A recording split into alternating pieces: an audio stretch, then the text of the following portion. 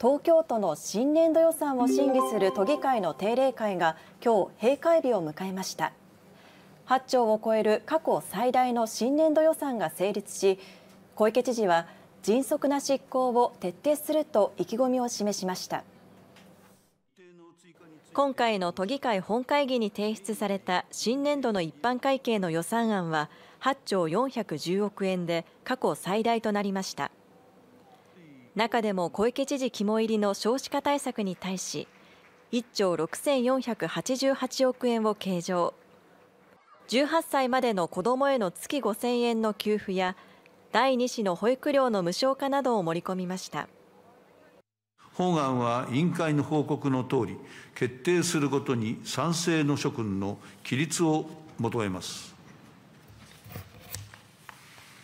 起立多数と認めます。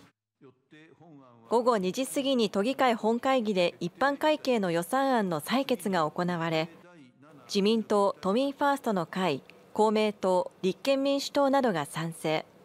共産党未来会議などが反対賛成多数で可決成立しました。過去最大となった新年度予算の成立に小池知事は迅速な執行を徹底するとしています。予算が成立いたしまして、まさにここからがスタートになりますので、あの各事業の効果をですねできるだけ早く都民の皆さんに還元をしていく、そのためにも従来にも増して、迅速な執行を徹底していきたいと思います。